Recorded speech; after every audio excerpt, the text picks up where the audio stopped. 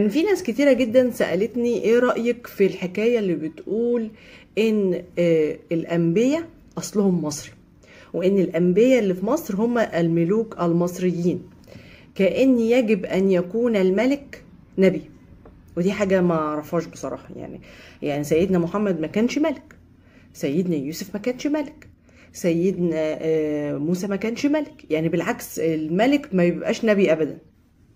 ليه؟ لأن هو أساسا بيجي ينصح شعبه. فإزاي هو الملك اللي مسؤول عن الشعب وفجأة يبقى هو المصلح؟ فدي أول حاجة لازم تاخدوا بالكم منها. تاني حاجة هل النظرية دي منبعها مصري أو منبعها عربي؟ لأ. النظرية دي منبعها الغرب ودائما كل مخرف يأتي من الغرب. خلوا بالكم يعني إحنا بنصدر ليهم العلماء والعلم وهم يصدروا لنا المخرفين والهطل يعني.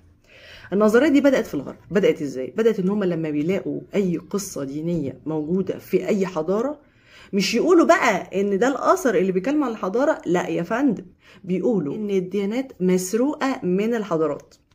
يعني إحنا لو لقينا قصة سيدنا موسى أو سيدنا يوسف مكتوبة على الآثار المصرية هيكون رد فعلهم إن الديانة دي مسروقة من الآثار دي مش هيقولوا العكس زي ما أنتوا فاكرين. وده السبب إن هما بيستخدموكوا في إن أنتوا تدوروا على آثار تثبت هذه القصص. وده غلط ما ينفعش كلام ربنا يصدق بلا أي دلائل عشان تكونوا عارفين. في ناس مجموعة من العلماء مش علماء يعني هما ناس قاعدين كده مع نفسهم وفكروا وقالوا كل حاجة حصلت في مصر. يعني الخروج ده حصل في مصر. طب مين اللي خرجوا يا جماعة؟ آه، أخناتون وقومه. هم دول قوم آه، موسى. يعني أخناتون ده هو قوم موسى. وإن فرعون ده هم اللي اطرد اللي طردهم اللي هو حور محب. دي قصة. ملهاش أي إثباتات بس هي فانتازيا تاريخية. أو ناس يعني لقوا إن الموضوع ده لايق. فقالوا عليه كذا قصة وهبقى أحكي لكم الحكاية.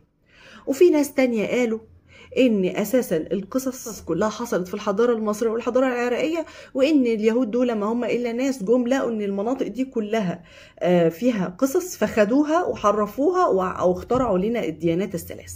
وإن مفروض إن إحنا بدل ما نلف حوالين الكعبة نلف حوالين الهرم. وإن إحنا بدل ما آه، نحج للسعودية نحج لأبيدوس. فاهمين أنتوا القصة؟ النظرية دي طالعة عشان تقول لسيادتك إن الديانة الأصلية هي الديانة المصرية. فاهمين؟ طيب أنت يا نيرفانا مش بتحب الاثار المصرية وبتدافع عنها؟ آه بدافع عنها. بس أنا ما ينفعش أدافع في الغلط. مين قال كده؟ المصريين القدماء كان ليهم ديانة خاصة بيهم. العراقيين كان ليهم خاص ديانة خاصة بيهم. البرازيليين ليهم ديانة خاصة بيهم. المكسيكيين ليهم ديانة خاصة بيهم. الكلام ده في العالم القديم. كل واحد ليه ديانته. فما ينفعش أنا علشان آه، أحرف أفكار الناس أبتدي أشتغل على الحتة اللي فيها جهل. إن الأنبياء هم الملوك. إن الديانة هي مصر. طيب يا نيرفانا انت الناس ما قالوش الكلام اللي انت بتقوليه ده. لا دي دي الحلقة الجاية. الحلقة الأولى إن هم يقنعوك إن الأنبياء هم الملوك المصريين.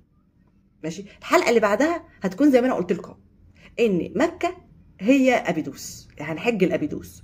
وإن الكعبه هو الهرم وهنلف حوالين الهرم سبع مرات. هل في ناس مؤمنة بالكلام ده؟ آه يا جماعة في ناس مؤمنة بالكلام ده وبييجوا يعبدوا أوزوريس وإيزيس وسخمت ومش سخمت والكلام ده موجود. طب هتقولي لي يا نيرفانا طب أنتوا ساكتين ليه على الكلام ده؟ يا جماعة الدين لله. يعني انت عايز تعبد اللي تعبده اعبده ده ربنا ذات نفسه هو اللي قال كده. لكن اللي بيحصل كالتالي انت ليك نفسك. تقدرش إن أنت تحكم الناس. فعشان كده أنا بقول لكم النظرية دي أنا ضدها تماما. وأنا لو بتكلم على آثار بتقول إن ملك فلان هو مش عارفة إيه أنا بتكلم عن آراء الأشخاص. وبنفي القصة فيما بعد. يعني حد مثلا يقول لي إيه إن سيدنا موسى هو ابن رمسيس الثاني لا أنا بسرد القصة أو الرأي وبنفيه في آخر الحلقة. طيب في ناس قالوا إن امحوتب هو سيدنا يوسف. لا أنا بسرد القصة وفي الآخر بنفي القصة. يعني أنا بتكلم الرأي وبنفيه في آخر الحلقة. أنا ضد هذه الآراء. أنا مؤمنة بحاجة إن ديني ده ليا لكن الآثار والحضارة المصرية حاجة موجودة ندرسها كما هي. ما نحرفهاش على أهوائنا.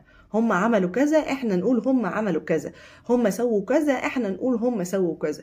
ما نضيفش حاجات من عندنا عشان نحليهم في نظرنا. ما نقولش بقى هم موحدين ما نقولش بقى هم مسلمين ما نقولش بقى هم كفرة. هم هم زي ما هم. هم خلاص خلصوا.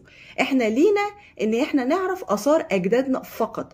أما الدين الحالي فهو ديننا إحنا. يعني المسلم مسلم والمسيحي مسيحي واليهودي يهودي. خلصت على كده. هتفرق في إيه بقى؟ عارفين هتفرق في إيه؟ في السيادة. إن كل واحد عايز يسود الآخر. ودي طبعا حاجة ضد البشرية في حد ذاتها.